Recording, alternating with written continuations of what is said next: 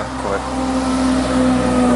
általában március 10-én indulnak el a békák Zala megyében, de idén a az időjárás, tehát az enyhe időjárás miatt jóval korábban, majdnem egy hónappal előbb indultak, ezért kell már most februárban megépítenünk a terelőket.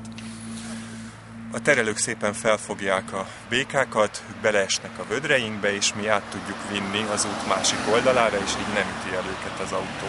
Uh-huh. És hol van szükség a megyében? Hol a, dolgoztok? A megyében nagyon, yeah. tehát viszonylag sok helyen szükség lenne, ugye a kapacitásunk szerint dolgozunk. Mi itt Zalaegerszegen a 76-os elkerülőjénél építünk terelőt, Szalacsányi tónál, ott már több mint 20 éve, és Misefán. Uh-huh. De terveink között szerepel az is, hogy a Keszthelyi hegységnél is legalább egy terelőt majd fogunk készíteni. Uh-huh. Köszönöm szépen.